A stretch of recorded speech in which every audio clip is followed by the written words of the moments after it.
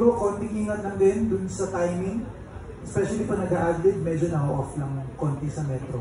Emotional kasi kakabalik lang ulit sa contest na industry. I think nabigay ko naman lahat ng best ko. So, five star for me. Wow!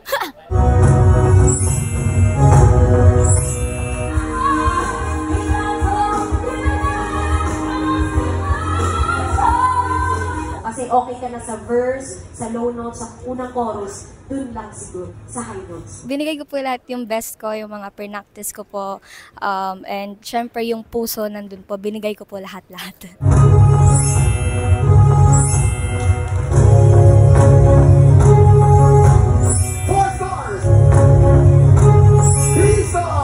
Congratulations, Isaiah! Ikaw ang hahabol sa kampiyon ngayon.